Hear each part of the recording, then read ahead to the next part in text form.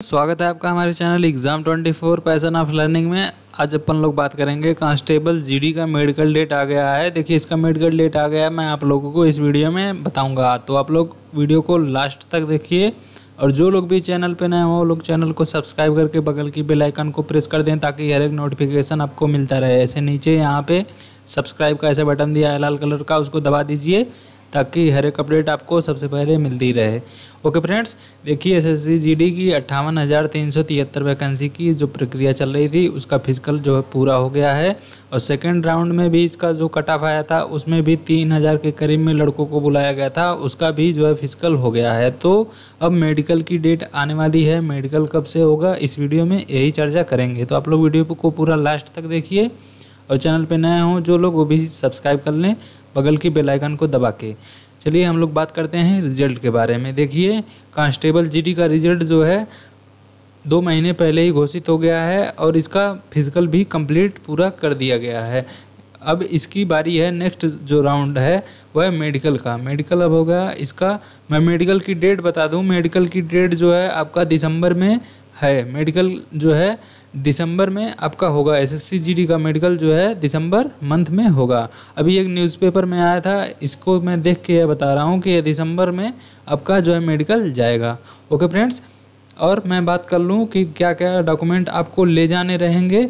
Medical के दौरान आपका जो है डॉक्यूमेंट वेरिफिकेशन भी होता है तो आप लोग ये डॉक्यूमेंट ज़रूर ले जाइएगा, क्योंकि ये डॉक्यूमेंट नहीं रहेंगे तो आप लोग जो डिस्कवालीफाई हो सकते हैं।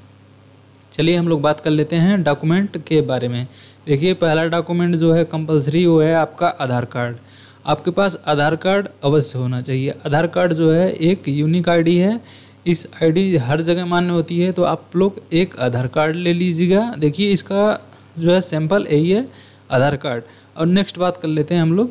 नेक्स्ट जो है, आप लोग जाति प्रमाण पत्र लीजिएगा। कास्ट सर्टिफिकेट जिसे कास्ट सर्टिफिकेट कहते हैं, वो भी आप लोग ये कंपलसरी है और इसका ये देखिए, आप लोग सेंट्रल गवर्नमेंट का जो है, आप लोग बनवाइएगा। सेंट्रल गवर्नमेंट का जो है कास्ट सर्टिफिकेट आपका मान्य होता है। जो भी O B C S C S T के कैंडिडेट हैं, उन लोगों से मैं फिर दोबारा कहना चाहता हूँ, क्योंकि आपको जो है, आप स्टेट लेवल के ले जाएँगे तो वहाँ पे बिल्कुल मान्य नहीं होता। स्टेट लेवल की कास्ट सर्टिफिकेट बिल्कुल मान्य नहीं होती है। आपको जनरल में जो है कर दिया जाएगा। अगर जो आप अपने स्टेट की कास्ट सर्टिफिकेट ले गए तो आपको यह ज़रूरी है, यह देखिए इसका प्रोफार्मा यहाँ पे है, यह देखिए मैं आपको इमेज में दिखा रहा हूँ, इस प्रोफार्मा से आप लोग तैयार करवा लीजिए, ऐसे ही इसका सैंपल है।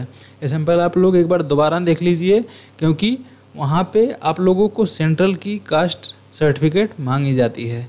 तो आप लोग यह देख लीजिए और इसी हिसाब से आप लोग जो है अपने वहाँ से बनवाइएगा कास्ट सर्टिफिकेट जो है सेंट्रल गवर्नमेंट की। ओके नेक्स्ट बात कर लेते हैं हम लोग।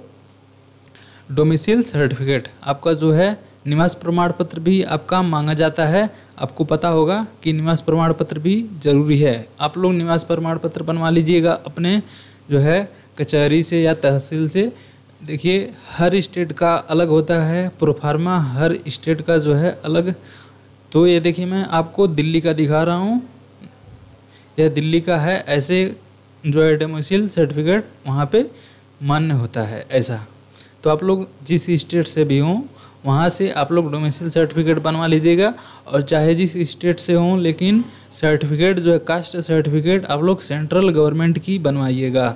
अगर जो आप ओ बी सी एस सी और एस टी से बिलोंग करते हैं। ओके फ्रेंड्स नेक्स्ट बात कर लेते हैं हम। नेक्स्ट नेक्स्ट जो है, आप लोग की मार्कशीट लगती है।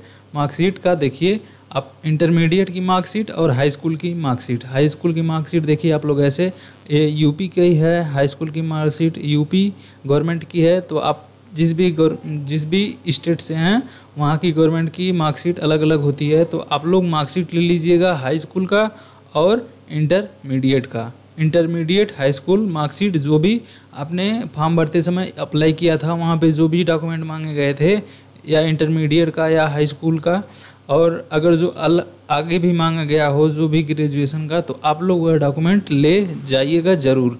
ओके फ्रेंड्स और सबसे ज़रूरी बात, आप लोग जो है कास्ट सर्टिफिकेट मेन यहाँ पे है जो कास्ट सर्टिफिकेट यह आप लोग सेंट्रल लेवल की ले जाइएगा। क्योंकि यह सेंट्रल लेवल की ना होने के कारण आपको जो है जनरल में कर दिया जाएगा। जो भी आरक्षण के मतलब ओबीसी और एससी एसटी कैंडिडेट जो भी हैं इनको जो है आरक्षण चाहिए तो आप लोग सेंट्रल गवर्नमेंट की जो है ले जाइएगा कास्ट सर्टिफिकेट। ओके फ्रेंड्स आज की वीडियो में यही बताना था।